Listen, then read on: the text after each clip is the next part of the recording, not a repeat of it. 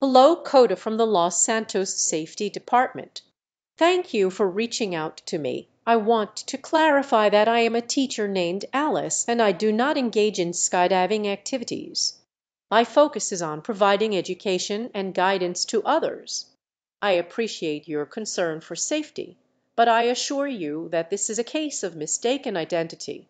If there's anything else I can assist you with, please let me know.